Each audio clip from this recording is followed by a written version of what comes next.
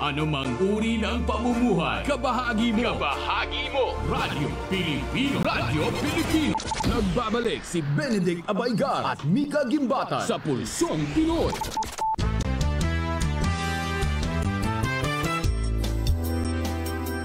Yes, at muli na naman tayong nagbabalik sa ating uh, palatuntunang Pulsong Pinoy. Ito pa rin po ang inyong kabahagi, Direk Benedict Abaygar, kasama ang ating partner. Magandang hapon muli sa lahat ng tagapakinig ng Pulsong Pinoy. Ito na naman po si Mika Gimbatan. Yes, at uh, ngayong hapon muli, makakasama na naman natin ang ating uh, entrepreneur entrepreneurship and financial literacy advocate. Yan. At uh, siya ring Chief Executive Officer ng KSK SMP Co-op. Walang iba kundi si Sir Armand Benko. Sir Armand, magandang hapon. Yes, magandang magandang araw, uh, Benji, at sa lahat ng ating uh, tagapakinig. Magandang araw po sa inyo. Yes, kasama pa rin natin ha, ang ating partner na si uh, Mika Gimbatan, uh, Sir Armand. At uh, maganda naman ating topic ha. Uh, ito naman ay uh, patungkol sa pagbabangko, Banking 101, ano Sir Armand, tama ba? Yes, yes, yes. Uh, uh, minabuti natin na pag-usapan yaan yung uh, banking, banking Opo. 101. Kasi sa iisang dahilan na uh, Benji, mm-hmm. alam mo ba sa Pilipinas, uh, di ba, lagi na nagsasabi, uh, isa tayo sa matagal na tayong developing country. Yes. Yung uh, umuunlad, hindi pa talaga dumating sa maunlad, umuunlad uh, yung uh, mm-hmm. developing country tapos tinamaan pa tayo ng epekto ng uh, pandemya. Mm-hmm. Talagang nag-backtrack. Uh, yeah. Alam mo itong pag uh, pag tigil o pagbagal ng takbo ng ekonomiya natin, eh, ma, hindi naman mapagkakaila ang negatibong epekto. Pero sana yung makokontrol natin, halimbawa yung pagkakaroon mm-hmm. ng bank account ay magawa ng tao, ng Pilipino. Kasi alam mo dito sa Pilipinas, Opo. 2 out of 10 lang. Sa bawat 10, dalawa lang ang may bank account. Ah, ganon? Mm-hmm. Kumpara sa ibang ng... bansa, uh-huh. Two oo, out of kumpara 10. sa ibang bansa, mm-hmm. lima hanggang uh, anim, pito, walo sa bawat sampung mamamayan nila, mm-hmm. merong bank account. Sa atin, halos dalawa lang. Hindi pa talaga dalawa, hindi lagpas dalawa, halos dalawa lang sa bawat sampung Pilipino na qualified mm-hmm. na magkaroon ng bank account, ang totoong may bank account. Doon sa dalawa na yon, sa dalawa na bawat sampo na may bank account, mm-hmm. nako, mahigit kalahati doon na uh, Benji ay ATM payroll account lang. Mm-hmm. Ibig sabihin, kaya lang sila nagkaroon ng bank account mm-hmm. dahil? dahil meron silang uh, employer na pinapadaan ang sweldo, sweldo nila sa mm-hmm. pamamagitan ng bangko. Mm-hmm. Pero yung talagang individual na binigyan ng pribilehiyo mm-hmm. magkaroon ng bank account ay hindi uh, kakaunti. So makikita mo yung uh, yung uh, malaking dahilan hindi na tayo magtataka kung bakit mahirap mm-hmm. ang Pilipino. Yung pinaka-identity, financial identity ng mm-hmm. isang individual ay ang bank account. Yan okay. ang isang malinaw na pagkakilala sa isang nilalang. Mm-hmm. Bakit ko sinabing nilalang? Kasi as young as 7 years old, Benji, pwede na magkaroon ng bank account eh. Mm-hmm. As young as 7 years seven old. 7 years old pa lang. Yes, Yun ang pinaka ano. Oo, as young as 7 years old. Pero karamihan ng Pilipino manggagawa nagkaroon lang ng bank account dahil doon pinapadaan ang kanilang sinusweldo. Sweldo. Pero Payroll. para sabihin Sa na payroll. sila talaga ay karapat dapat magkaroon ng bank account at maayos na pamamahala ng kanilang bank account. Yes. Ako, magdadahilan pa yung Pilipino. Wala po akong pang-open ng bank account. Yung uh, amount, yung account opening amount, Mm. wala po ako noon. Kaya hindi ako magkakaroon ng bank account. Uh, yung bank account ko, pang mayayaman lang. ah, yung mga bangko, yung mga branches nila, naka-air condition at lahat. Kaya nga. Kaya mala- maling-mali ang pananaw ng ordinaryong Pilipino Mhm. sa bank account. Kung gusto nating kung tayo ay buhay at aktibo sa internet world, meron tayong email account. Buhay Mhm. na buhay tayo sa Facebook world. Meron kayong Facebook account. E paano sa financial world? Mm. Kailangan natin ng bank account. Eh hindi po natin tinatrabaho na magkaroon ng bank account. Ayun. Nag-iisip pa, namimiloso po pa Mm. para hindi kumuha ng bank account. Ah, Kailangan po okay. natin na Hmm. merong bank account. May Sir, nag ah, may nagsabi dito ano ah, Sir Armand eh maliit lang naman daw kasi yung ano interest. Mm. Nakakainis. Nakakainis daw. sa bangko. Opo. Ah, yaan para sa akin eh pamimiloso pong pagdahilan na lang. Kasi miski na naman merong malaki Hmm. na interest, hindi pa rin sila nagbubukas o hindi pa rin sila nag-iipon o hindi Mhm. pa rin sila nagpapalago eh, di ba? Katulad nung nabanggit natin, six months ago, ah, Benji, Mhm. six months ago, pinag-usapan natin ang Bitcoin, di ba? Kaya nga. six months ago. O, eh, wala namang, hindi naman mataas o marami ang pumasok sa ating mga tagapakinig. Eh, 236% na. Mahigit times 3 ang Mhm. pera six months ago. Yung eh. 10,000 mo, eh, 300, sa yung 10,000 mo, 32,000 na. O Mhm. bakit hindi pa rin sila pumasok sa Bitcoin? Ah, ang totoo pong kasing dahilan, wala naman kaming pera pampalago. Eh, ano ho ba talaga? Hindi kayo pumasok, hindi kayo kumuha ng bank account dahil mababa ang interest? Mhm. o talagang wala kayong pinagtrabahuhan, pinagsumikapan Mhm. para makapag-open ng bank account. Pangalawang, Ah, okay. pangalawang sagot ko dyan, Benji, Opo. yung bank account, hindi po yan pampayaman. Mhm. Kaya mababa o walang interest, Mhm. dapat meron kayong bank account. Alam niyo ba sa ibang mauunlad na bansa, Mhm. ano yung kapatid natin dito sa Asia na kinaiingitan natin? Japan. Sing- Japan, Singapore. Mm-mm. Opo. O, doon na lang sa Japan. Sa Japan, pag ikaw nag-open ng bank account, ikaw pa magbabayad, hindi yung bangko bibigyan ka ng interest. Bakit?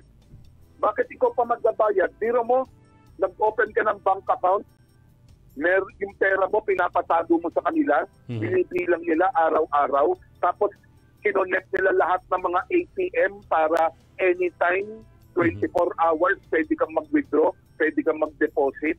Tapos pag nasa ibang bansa ka o nasa ibang lugar ka, yung bangko mo nakakonekta sa ibang bangko, ibang ATM sa ibang bansa.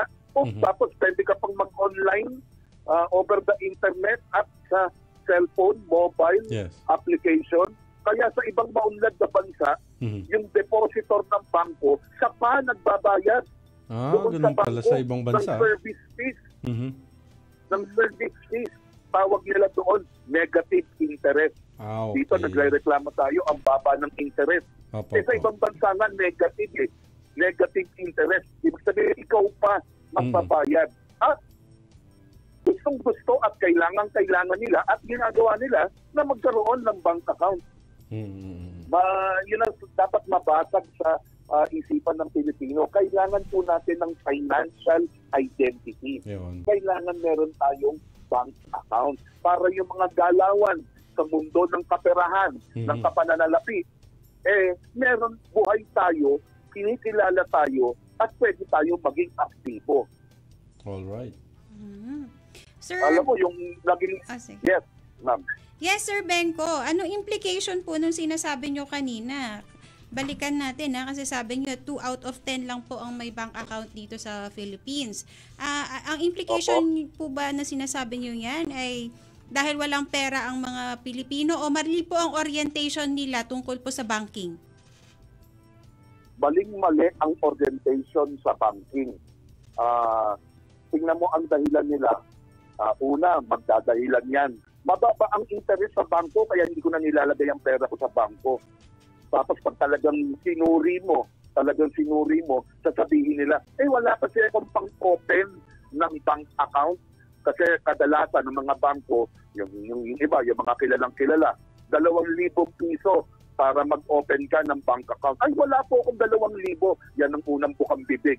Pero, pagtaya sa loto, pambili ng MP Life, pambili ng sigarilyo, Ang dami. pang pa-manicure, pedicure, eh, meron sila. Naglalabas Pero ng yung pera. para bunuin, Mm. para bunuin yung unang account opening amount, Mm. hindi nila, wala sila, wala raw silang ganun. So makikita mo mali ang pananaw, ang consultation, sabi mo nga, Mm. sa mga bangko. O kita mo na lang nangyari last year nung nagbibigayan ng ayuda. Mm. Opo. O kaya nagkaroon ng mga problema, maraming problema. Merong hindi nabigyan, merong nagkamali ang nabigyan, Hmm. merong doble-doble ang nabigyan. Bakit? Kasi walang proper identification. Wala nang financial identity, wala pang maayos na identity sa barangay. Mm. Eh kung meron tayong financial identity, katulad ng mga nabibigyan ng uh, four-piece program ng pamahalaan, dinadaan dun sa bangko, di po ba? Mm-mm. yun ang mas madali na nakakakuha. Pero hindi lang sana dahil doon, kaya kayo mag-open ng bank account. Kailangan nyo pong mabuhay, makilala at maging aktibo sa mundo ng pananalapi. At yung unang step dyan ay pagkakaroon ng bank account. Yun. Yun ang ano, importansya noon. Yes. Ito sa kaalaman po ng mga tagapakinig natin, Sir Benko, ito po ay ang savings account. Tama po ba? Yes. Alam niyo ho ba, ah, ako mismo o pag ako, ito, nagbabahagi pa ng mga ng mga kaalaman tungkol sa kaperahan. Alam niyo po ba, ako mismo sinasabi ko, kailangan meron kayong tatlo hanggang limang savings account. Tatlo hanggang lima. Kung tatanungin niyo bakit po tatlo hanggang lima, yung una, yung ah, kung saan pinapadaan yung sweldo, Di po ba? Ah, kadalasan ATM payroll na. Lahat ng ah, pinapasukan ng inyong ATM payroll, ilipat nyo po sa pangalawang savings account nyo Mhm. Sa para meron kayong emergency fund at cash reserve. Mhm. Tapos yung ah, pangatlong savings account nyo, ATM din, eh doon naman ang inyong spending account. So halimbawa, Bank 1, First Bank, doon ako may unang account. Doon ako sumusweldo, pinapasok ng employer, ng employer ko doon ng sweldo ko. Okay. Mag-open ako ng ibang bank account, tatlo pa, dahil yung isa, pang emergency at cash reserves ko. Mhm. Yung pangalawa, panggastos ko. Yung pangatlo, yun yung pinag-iipunan ko para pag lumaki o lumago, meron akong pang-invest o pang panglaga sa mga investments na pwede kong pasukin. Meron kasi mga investments, merong minimum amount eh. Mhm. So, Okay, at ako po, sa totoo lang, sana Opo. kung nakikita nila ah, on cam, Opo. tatlo po ang aking bank account. Tatlo. Hindi dahil marami akong pera. Hmm. Yung una, doon pinapasok ng employer ko lahat ng aking sinesweldo.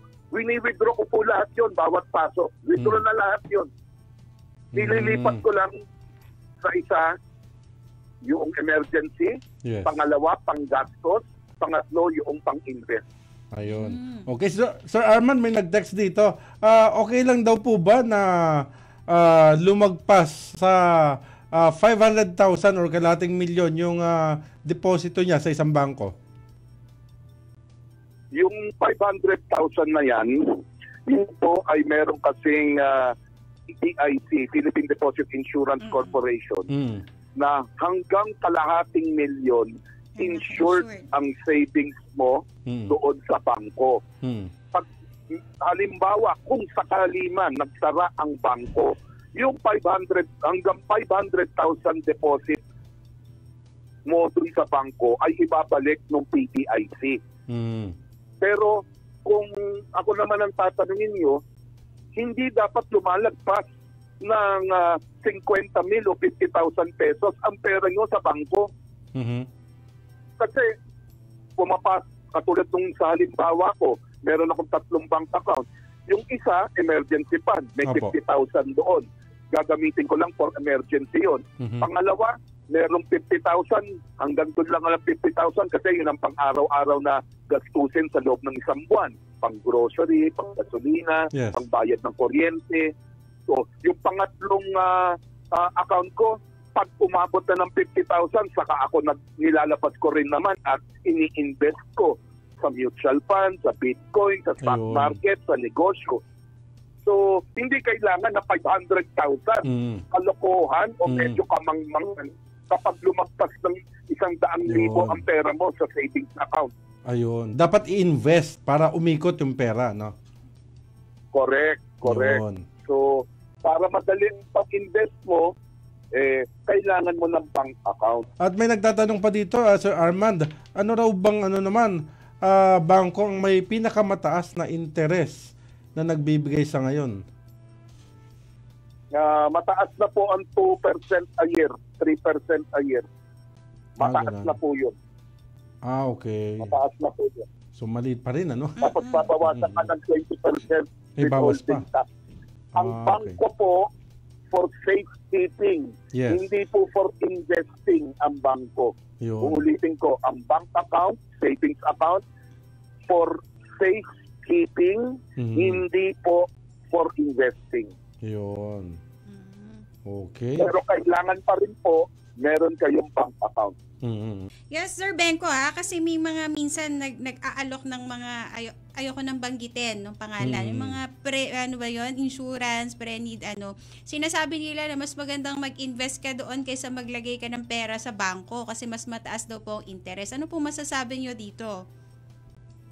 Hindi ko pwedeng ikumpara ang bank account sa insurance, stock market, mutual fund, Mhm. pagnenegosyo, ah, Bitcoin. Hindi po siya apple to apple.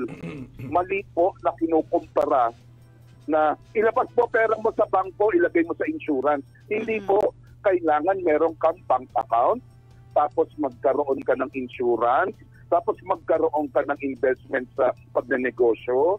Kung lumaki-laki at tumagal-tagal at medyo umunlad ng buhay, mag-invest sa real estate. Hindi po siya magkalaban, ma'am Mm-mm. na wag sa bangko dito sa insurance dapat. Hindi po. Meron kayong bank account, meron kayong insurance, Mhm. protection, meron kayong sa pagnenegosyo, meron kayo sa real estate, meron kayo sa Bitcoin.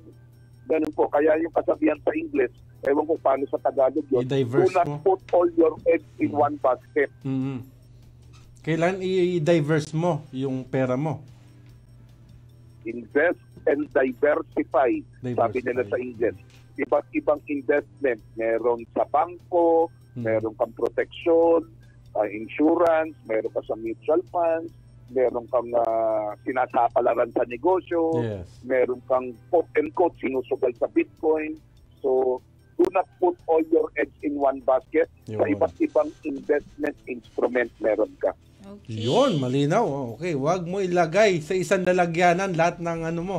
ah, kasa ano, Kaperahan. kaperahan mo yung Do mga not kwarto compare mo. an apple to Yan. an orange din. Oo. okay, nako maraming Thank salamat you, sir. Sir Arman ha. Marami na naman kaming natutunan sa iyo ah, pagdating diyan sa ah, kaperahan. yan, yan. Okay, maraming salamat po Sir Arman Benko, ang ating ah, advocate sa financial literacy at ah, entrepreneurship. Yan. Oh, Yes, maraming salamat po sa lahat po ng nakinig dito po sa Pulsong Pinoy. Ako na naman po si Mika. Maraming salamat. Ito pong muli ang inyong lingkod, uh, nagsasabing uh, stay safe and stay healthy. Just think positive. Huwag kang ayaw dahil ang umayaw Ay, ay, hindi nagwawagi. at ang nagwawagi ay hindi umaayaw. magsama-sama po tayong muli bukas, same time, alas 3 hanggang alas 4 ng hapon dito lamang sa ating programang Pulsong Pinoy sa Radyo Pilipino. Maraming salamat at mabuhay ang Pilipinas.